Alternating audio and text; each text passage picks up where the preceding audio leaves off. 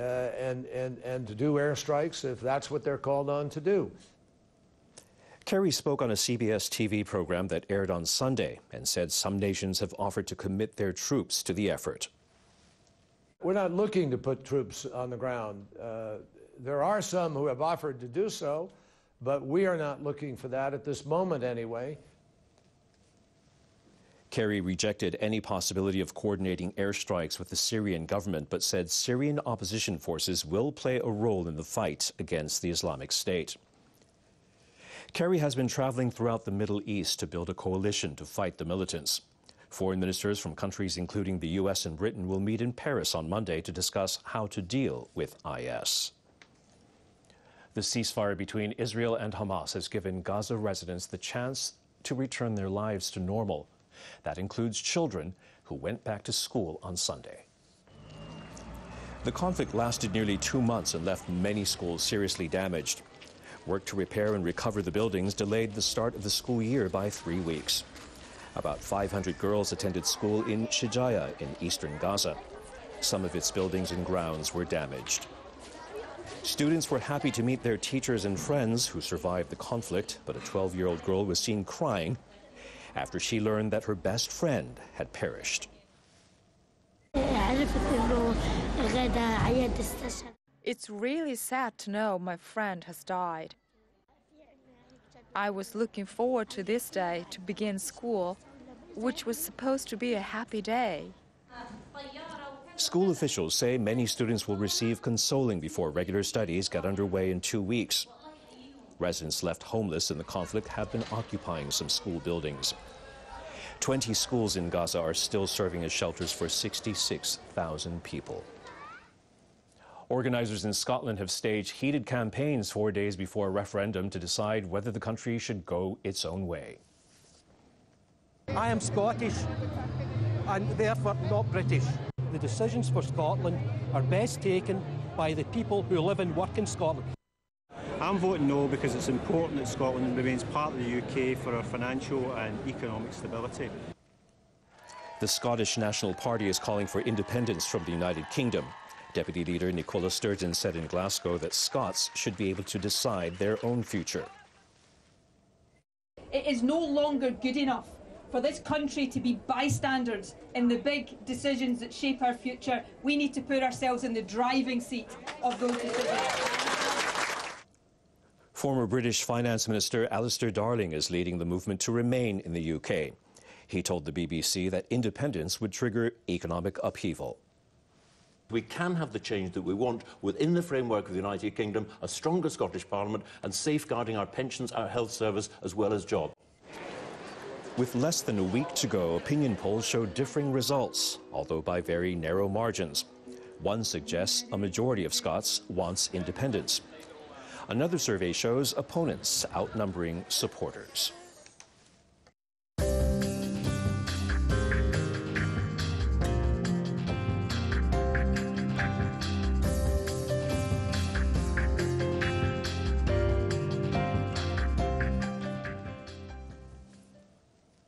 During the crisis at the Fukushima nuclear plant, authorities set up no entry zones in areas where high levels of radiation were detected. The move disrupted the lives of thousands of residents. It also seriously inconvenienced motorists who had to detour around the barriers. However, authorities have provided some relief by lifting a restriction on a stretch of road near the Fukushima Daiichi plant. Residents hope the move will mark a step toward the region's recovery. The authorities lifted the restriction on midnight Sunday after completing decontamination and repair work.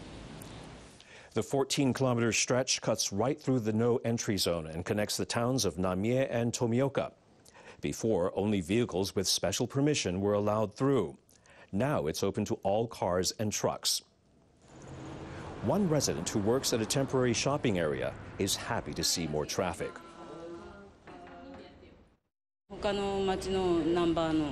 I'm seeing more cars coming from other prefectures already. I hope the road opening will help the area recover. Motorcycles, bicycles, and pedestrians are still barred from traveling on the section of road. Motorists are also not allowed to get out of their vehicles. Today, Monday, is a national holiday in Japan, Respect for the Aged Day. To mark the event, the government released a set of data to remind everyone of how the country's population is aging at record levels. The survey shows that for the first time, one in eight Japanese people is 75 or older. The Internal Affairs Ministry says roughly 33 million people are aged 65 or older, up 1.1 million from a year ago, marking a record high. Most, 18.8 million, are women. 14.2 million are men. The ministry says this group now makes up 26% of Japan's population, and nearly half of them are aged 75 or older, numbering 16 million, another record high. Many people of retirement age continue to work. The ministry says nearly 6.4 million of the 65 or older crowd have jobs marking the 10th yearly rise. They account for 10% of the country's workforce. And both the number and percentage of these people are at the highest levels on record.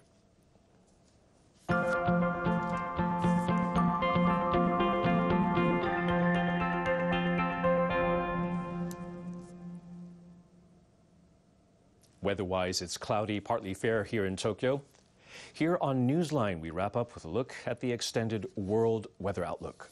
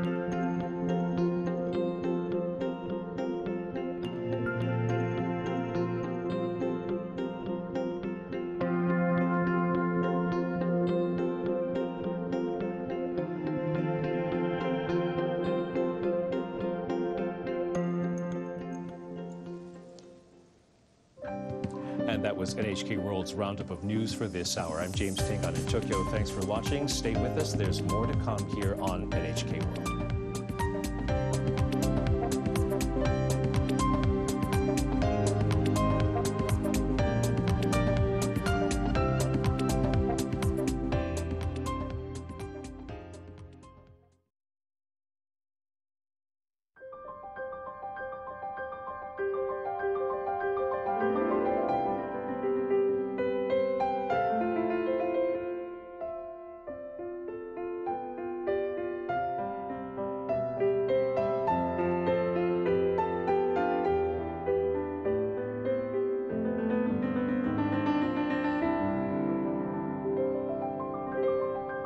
Fukuejima, off the coast of Nagasaki Prefecture in western Kyushu.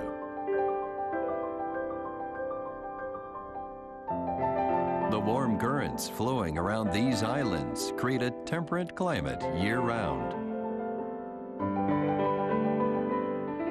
This is a popular stopover for many migrating creatures.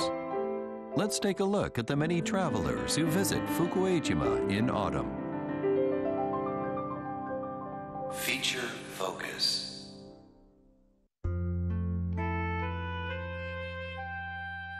There are about 140 islands west of the mainland of Nagasaki Prefecture. These are collectively known as the Goto Archipelago.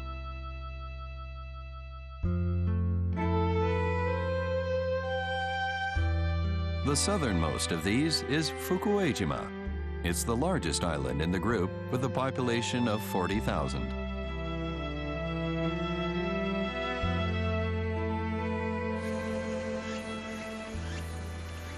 The warm Tsushima current flowing through here provides a temperate climate for the islands.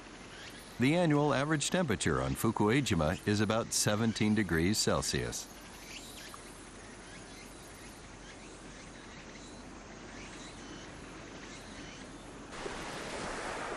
Situated close to the Eurasian continent, Fukuejima has long prospered as a way station on the route linking China and Japan. September sees the coastline decorated with autumn flowers.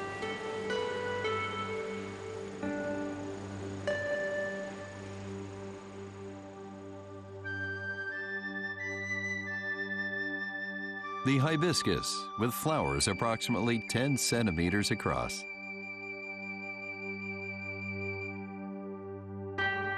Smaller flowers, such as the squill, can also be seen.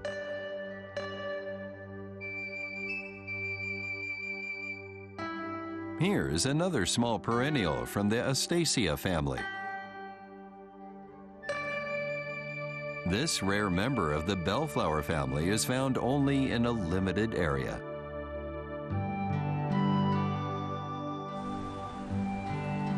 Autumn sees many visitors to the island.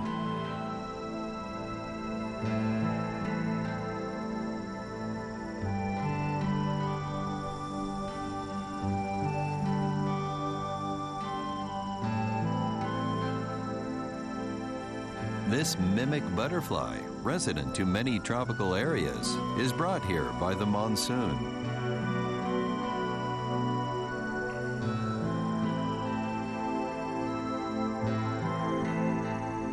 The great egg fly, also commonly found across Southeast Asia.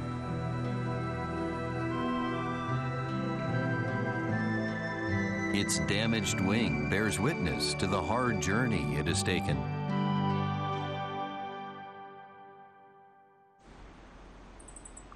More than 250 species of birds can also be found across the island year round.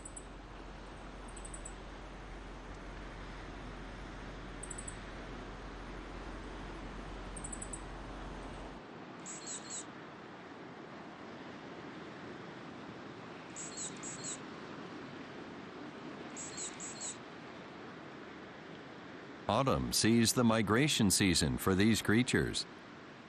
Chestnut cheeked starlings are on their way back to their wintering place in Southeast Asia.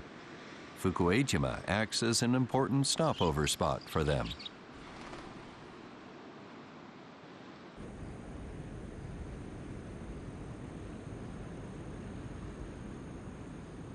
Many black objects appear from the clouds. Their numbers grow steadily.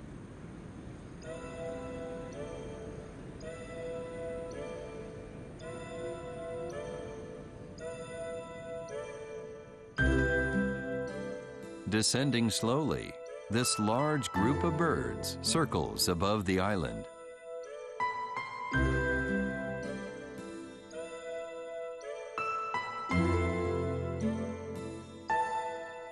The bee larva eating oriental honey buzzard. This bird of prey has a wingspan of more than a meter.